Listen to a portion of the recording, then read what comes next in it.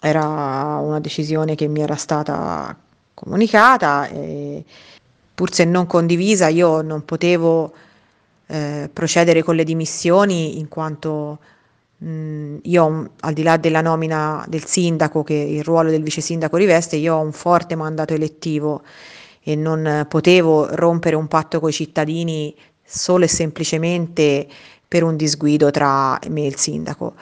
Il giorno dopo la sua rimozione dalla carica di vice sindaca di Pietrasanta, Elisa Bartoli spiega così la sua rottura con il sindaco Alberto Giovannetti e soprattutto spiega perché non ha voluto dimettersi spontaneamente, come lo stesso primo cittadino aveva suggerito. Forte delle 271 preferenze raccolte alle amministrative del 2018, eletta nella lista della Lega, terza di tutto il centrodestra, Bartoli, che in queste ore ha raccolto i ringraziamenti per il suo lavoro da parte della consulta del volontariato, si dice rammaricata per i progetti che deve lasciare tanti progetti in cantiere che volevo portare a termine e che secondo me avrebbero avuto un enorme vantaggio per la cittadinanza e è quello che mi dispiace di più.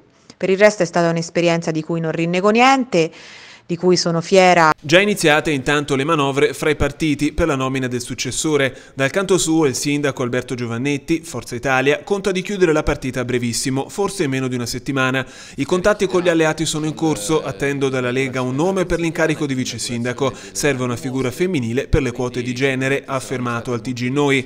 Il commissario provinciale della Lega, Riccardo Cavirani, ribadisce la contrarietà alla mancata richiesta della bandiera blu che ha scatenato la crisi politica. È però evidente, afferma che la scelta del primo cittadino di privarsi di un vice sindaco eletto con moltissime preferenze apra a una riflessione sulla ricomposizione della giunta.